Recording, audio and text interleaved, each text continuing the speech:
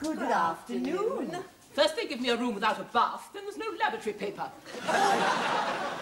Would you like some of ours? We keep an extra supply. Yes. Uh, would you like some of ours?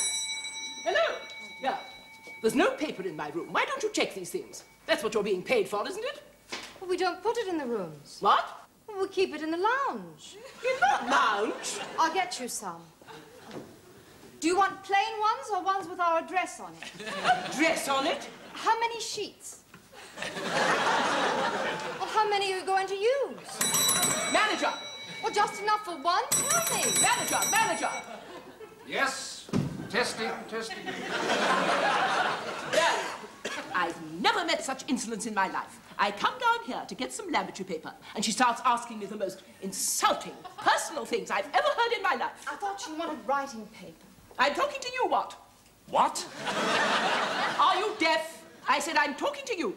I've never met such insolence in my life. She said people use it in the lounge. Yes, yes, she Then thought she starts asking me No, no, no, no. Oh, please listen. No, no, please, please. About- I can explain. about- No, no, you see, she thought you wanted to write.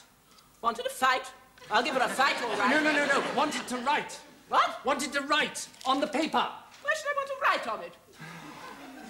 I'll have some sent up to your room immediately. Manuel? That doesn't work either. What were you saying?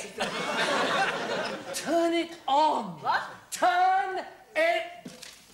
Turn it on.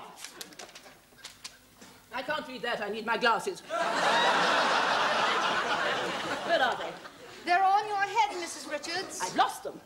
Oh, they're the only pair I've got. I can't read a thing without them. Excuse them. me. Now, I had them this Mrs. morning Richards, when I was buying the vase. Mrs. I Richards. couldn't Mrs. want to look at it. And, and I had them at tea time. Mrs. Richards, your glasses are there.